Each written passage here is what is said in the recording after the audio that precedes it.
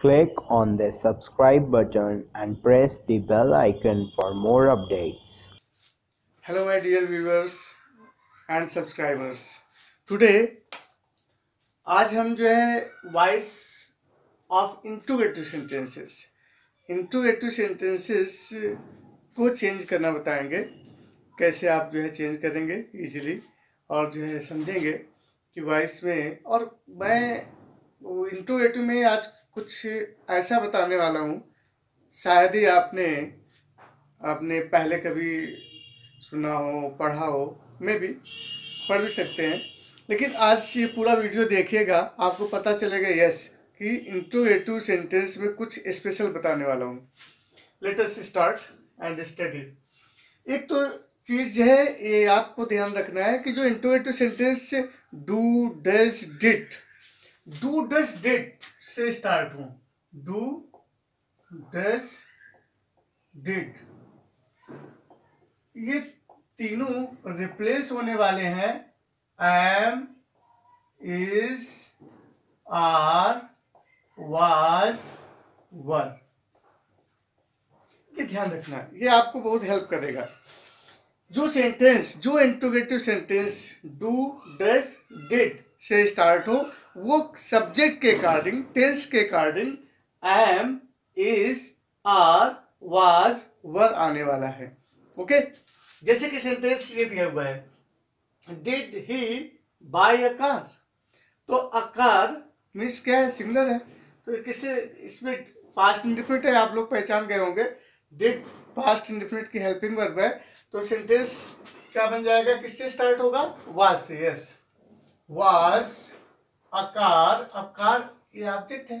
क्या खरीदा? अभी हमने फ़र्स्ट पार्ट वीडियो मिस वॉइस के फ़र्स्ट पार्ट में मैंने बताया था ऑब्जेक्ट कैसे निकालेंगे। मेन वर्ड में क्या लगाने से जो उत्तर मिलता है, वही ऑब्जेक्ट होता है। आकार, ये ऑब्जेक्ट आपका हो गया ये पहले आने वाला है।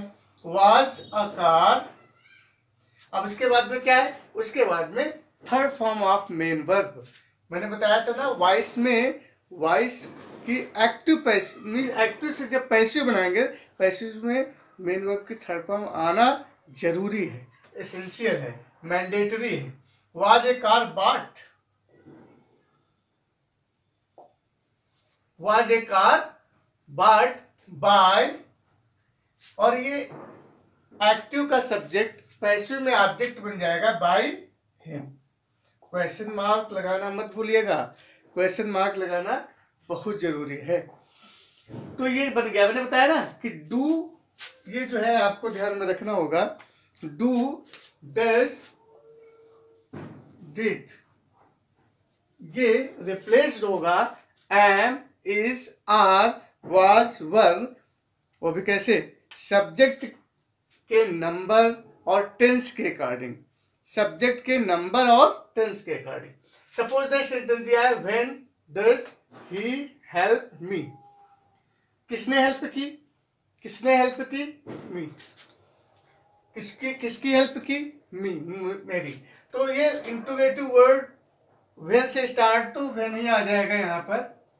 अब ये मी मी ऑब्जेक्ट है। ये पैसिव में सब्जेक्ट बन जाएगा। और इसके अनुसार हम वर्ब लाने वाले हैं। अब आई के साथ में special helping verb I am yes when I am I उसके बाद थर्ड फॉर्म आने वाली है।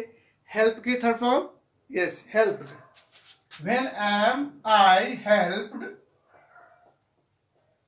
और उसके बाद में बाय ये जो है एक्टिव का सब्जेक्ट था, जो कि अब पैसिव में ऑब्जेक्ट बन जाएगा by him question mark when I am I help by him suppose sentence start है डू से do you do your work with honesty तुम इस क्या करते हैं? योर वर्क योर वर्क तुम इस योर वर्क क्या है? सिंगुलर में आता है। तो इसके लिए हेल्पिंग वर्ब क्या आ जाएगी? Is is your work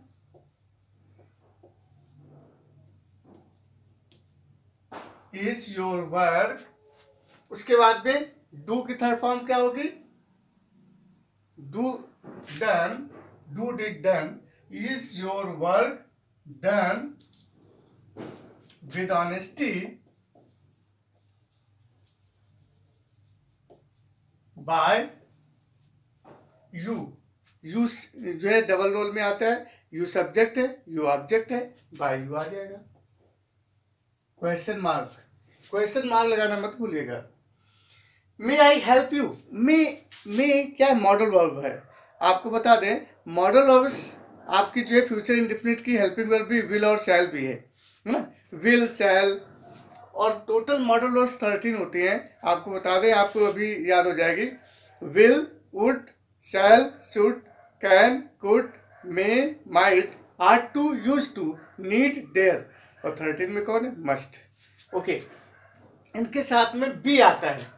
means अब may I help you may I help you तो इसका मतलब क्या है? मे एच बी से स्टार्ट है तो ये आपकी पैसिव भी मे से स्टार्ट होगी। डू डस डिड को छोड़ करके, ये आप याद रखिए। डू डस डिड को छोड़ करके जितने भी इंट्रोगेटिव एच बी से स्टार्ट हैं, या क्यू डब्ल्यू में जो भी एच बी आएगी, वो एच बी पैसिव में भी लगेगी। बसरते क्या है? डू डस डिड के स्थान पर सब्जेक्ट के according am is are was were आने वाला है। यस तो ये मे आई हेल्प यू है तो आप किससे स्टार्ट करेंगे? मे से। है ना? और यू यू आपका ऑब्जेक्ट है, पैसू का सब्जेक्ट बन जाएगा। मे यू और इस मॉडल वर्ब में क्या है कि मिस जितने भी मॉडल वर्ब है थर्टीन उसमें बी आता है be plus V three be plus main verb की third form be plus help की मेन वर्ब की थर्ड फॉर्म क्या है? हेल्प्ड बाय और ये जो आई का ऑब्जेक्ट क्या बन जाएगा? Me by me yes next में फिफ्थ नंबर पे मैं बताने वाला हूँ। Who taught you grammar suppose ये सेंटेंस दिया हुआ। आप बता सकते हैं कि हु का बाई हुम क्यों होता है? क्यों होता है?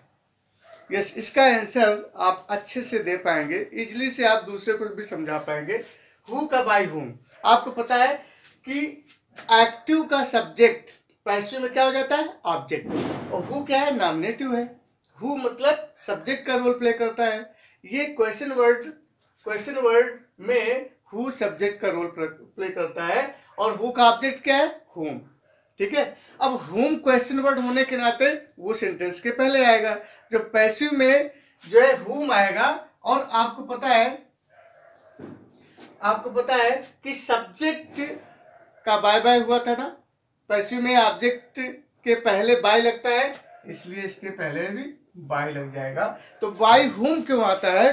क्योंकि हु सब्जेक्ट है और हु का ऑब्जेक्ट हुम है बाई उसके पहले इसलिए लगता है क्योंकि पैसिव में ऑब्जेक्ट के पहले बाई लगता है। यस अब यहाँ पर आप देख रहे हैं एक्टिव में दो ऑब्जेक्ट हैं। नंबर एक है ग्रामर क्या पढ़ाया? ग्रामर पढ़ाया। किसको पढ़ाया? आपको पढ़ाया। तो मिस दो। मैं ये बताने जा रहा हूँ कि ये सेंटेंस आप पाँच तरीके से बना सकते हैं। आपने सिर्फ़ और सिर्फ़ दो तरीके से बनाना सीखा होगा। कारण क्या है? दो या तीन तरीके से बनाना सीखा है, तीन। तो तीन तरीके से और बना लेंगे। जैसे क्या है कि दो तो ऑब्जेक्ट आपके दिए हुए हैं। पहला है मिस ग्रामर दिया हुआ है, जो कि इनडायरेक्ट ऑब्जेक्ट है। दूसरा sorry grammar indirect object direct object है और यू इनडायरेक्ट ऑब्जेक्ट है, जो दिया हुआ है। तो एक तो इससे बना देंगे by whom was grammar grammar. Taught. You. Question mark. And taught to you. Taught to you भी होता है, क्योंकि जब नॉन लिविंग ऑब्जेक्ट पहले होता है और लिविंग को बाद में ले जाते हैं तो उसके पहले हम टू लगाते हैं। तो ये सेंटेंस फिर से आ जाएगा मीन्स पहला ये हो जाएगा, दूसरा ये हो जाएगा by whom was grammar taught to you. तीसरा तीसरा क्या हो जाएगा? आप यू से उठाएँगे तो बाय हुम अब यू प्लूरल है तो यहाँ पर क्या आएगा? Were by whom were you taught grammar?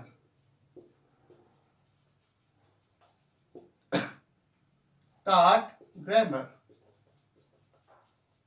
Question जो सेंटेंस बाय हुम से स्टार्ट हो रहा है वही सेंटेंस हु से भी बन जाएगा। ये कंपटीशन में आता है कि मान लिया हु टाट यू ग्रामर दिया हुआ है चार ऑप्शन दिए हुए हैं चार ऑप्शन में कोई भी ऑप्शन बाय होम से स्टार्ट नहीं है तो क्या नो एरर हो जाएगा? नो मीन्स ये चीज़ आप, आप अच्छे से समझेंगे। आप अपना अटेंशन इस पर देंगे। कि हु से स्टार्ट है एक्टिव का सेंटेंस यदि हु से स्टार्ट है तो पैसिव का सेंटेंस भी हु से स्टार्ट होगा, जैसे कि दूसरे क्वेश्चन वर्ड स्टार्ट होते हैं। जैसे हु है हु से स्टार्ट है तो ये भी चौथा, चौथी वैरायटी है। हु से स्टार्ट होगा? हु वाज ग्रामर टाट टाट यू, और बाय यहाँ लग जाएगा। टाट यू, बाय। बाय बाद में लगेगा, क्योंकि क्वेश्चन वर्ड मीन्स हु और सब्जेक्ट हु से स्टार्ट है। क्वेश्चन वर्ड से स्टार्ट है, इसलिए बाई यहाँ लगेगा। ये ध्यान रखना है। तो मीन्स चार ऑप्शन में यदि ये दिया हुआ है। Who was grammar taught to you या ये दिया हुआ है who were you taught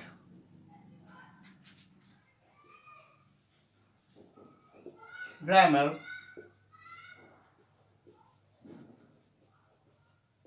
और क्वेश्चन मार्क ये भी सही है। तो आप हु का बाई हुम हु से बाई हुम का पैसिव बनाते हुए आपने पढ़ा है, सुना है, लेकिन हु का हु भी रिटेन रहता है, जैसे अदर क्वेश्चन वर्ड रिटेन रहते हैं। तो आपने देखा कि वॉइस ऑफ़ इंटूगेटिव सेंटेंसेस अच्छे समझ गए होंगे। और बेसिकली मैंने बताया था ना कि miss who taught you grammar जो कि मैं और दूसरे तरीके से भी बताने वाला हूँ। और आपको ये बात क्लियर हो गई होगी कि हु का बाई हुम क्यों होता है। जनरली ये लोग पूछा करते हैं तो इसका भी आंसर आपको मिल गया है। तो यदि मिस चार ऑप्शन में एक ऑप्शन कोई ये दिया हुआ है, या इनमें से कोई ये दिया हुआ है है ना? तो आपका हु टाट यू ग्रामर का आंसर ये होगा। इट मीन्स नो एरर नहीं होगा। ये कंपटीशन में बहुत पूछा जाता है। स्पेशली इस पर आप अटेंशन देंगे। Okay my dear viewers and subscribers next imperative sentence voice का हम फोर्थ पार्ट में लेकर के आएँगे और बहुत ही इजी वे में लेकर के आएँगे। इसको आप जो है अच्छे से समझ गए होंगे। फोर्थ पार्ट वाइस का इम्परेटिव में पढ़ने के लिए मेरे चैनल को आप सब्सक्राइब करेंगे।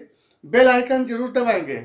इसको आप नहीं भूलेंगे, क्योंकि आपको वीडियोस की वॉइस की वीडियोस की सीरीज़ मिलती रहेगी। तो dear viewers means you have to you have to subscribe and like my channel easy English with Nirmal sir okay thanks